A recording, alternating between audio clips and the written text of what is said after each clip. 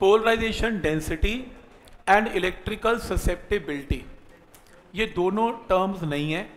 Polarisation density हमने नहीं की और इलेक्ट्रिकल ससेप्टिबिलिटी का सिंबल काय ये काय बोलते हैं इसे, ये भी हमने नहीं किया। तो सबसे पहली चीज़ पोलराइजेशन डेंसिटी किसे बोलते हैं? पोलराइजेशन डेंसिटी है induced dipole moment developed per unit volume of a dielectric when placed in electric field मतलब आपने एक कैपेसिटर लिया। कैपेसिटर की प्लेट्स के अंदर आपने plus Q, minus Q generate किया। ये डाइलेक्ट्रिक है। डाइलेक्ट्रिक पे ये चार्ज इंड्यूस हो गया। इसके अंदर एटम पोलराइज हो गए, खिंच गए, स्ट्रेच हो गए। हर एटम का डाइलेक्ट्रिक मोमेंट होगा। टोटल सभी एटम का टोटल डाइपोल मोमेंट को डाइलेक्ट्रिक के वॉल्यूम से डिवाइड करते हैं। सभी एटम का डायपोल मोमेंट को पूरे वॉल्यूम से डिवाइड करते हैं, उस रेशियो को पोलराइजेशन डेंसिटी बोलते हैं। राइट तो total dipole moment of a dielectric divided by volume तो सपोज़ करो एक एटम डाइलेक्ट्रिक के अंदर एक एटम का डायपोल मोमेंट पी है। Number of atoms per unit volume number of atom नहीं number of atom per unit volume कितने हैं? एन है। तो टोटल डायपोल मोमेंट क्या हो जाएगा? N into P per unit volume क्योंकि एन का मतलब number of atom per unit volume है। तो ये टर्म क्या देगी? Total number of total dipole moment per unit volume यही पोलराइजेशन डेंसिटी है। ये मेथड नंबर वन है, जो ज़्यादा यूज़ नहीं होती।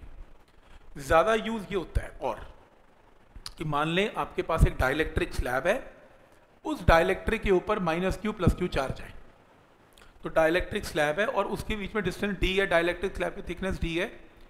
तो इमेजिन कर लें कि अगर आपके पास कोई डायलैक्ट्रिक स्लैब है, जिसके यहाँ पे माइनस क्यू यहाँ पे प्लस क्यू चार्ज है और इनके बीच में सेपरेशन डी है तो डायपोल मोमेंट इसके बीच में क्या होगा? क्यू इंटू टी तो डायपोल मोमेंट की वैल्यू क्या होगी?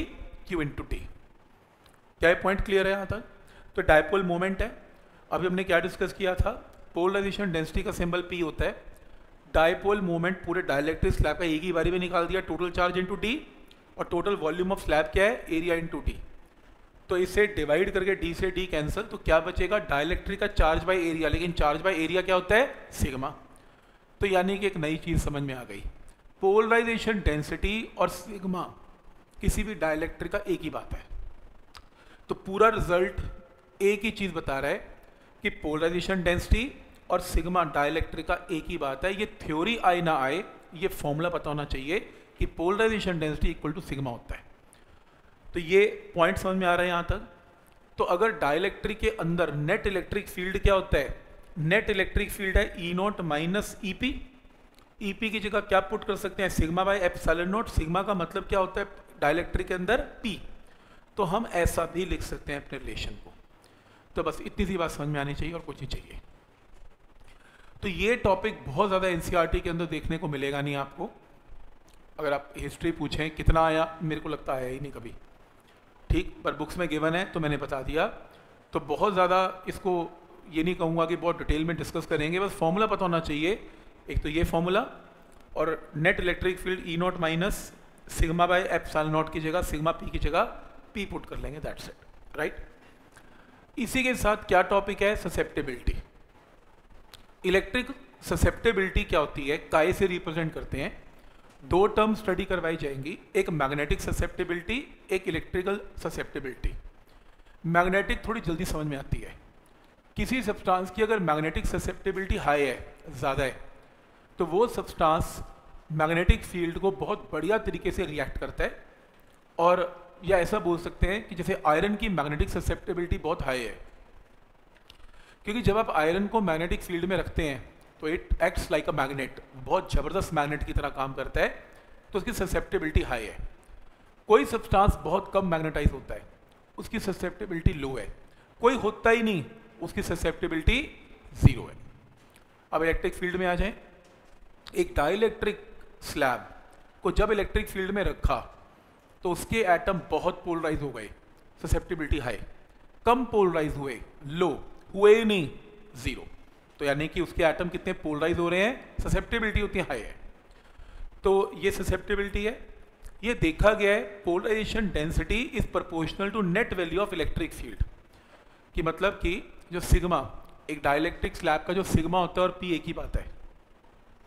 डाइलेक्ट्रिक स्लैब पे कितना सिग्मा होगा या पी होगा, उसकी डेंसिटी या चार्ज कितना ज़्यादा होगा वो डिपेंड करता है उसके अंदर इलेक्ट्रिक फ़ील्ड कितना है। जितना अंदर इलेक्ट्रिक फ़ील्ड ज़्यादा होगा, उसका सिग्मा या पी भी उतना ही ज़्यादा होगा। और यहाँ पर दो किस्म के कॉन्स्टेंट लगते हैं एप्साइल नॉट मीडियम की वजह से और सब्सटेंस की वजह से काय लगता है।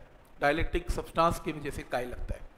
तो कुछ नहीं करना, इस टर्म को उठाना है और इस टर्म को उठा के यहाँ पुट कर देना है जो हमने फॉर्मूला ऊपर निकाला था पी बाय एप्सल नॉट में।